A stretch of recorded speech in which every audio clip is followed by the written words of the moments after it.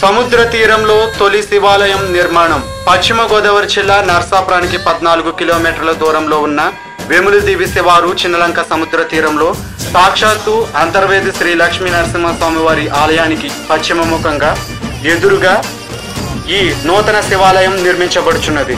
అన్నాచెల్లెలు గట్టుకు తూర్పుగా అంతర్వేది శ్రీ లక్ష్మీ నరసింహస్వామి ఆలయం ఉండగా పశ్చిమంగా ఈ నూతన శివాలయం నిర్మించబడుచున్నది. సరిగ్గా హరిహరులిద్దరూ ఎదురెదురుగా సందర్శించుకునే విధంగా ఈ సంకల్పం జరుగుతున్నది. ఈ మహాసంకల్పంలో అందరూ పాల్గొనండి.